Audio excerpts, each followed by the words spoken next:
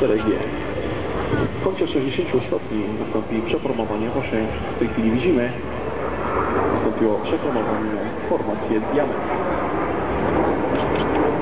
Zaakcentowanie maksymalnej wysokości opalenia dla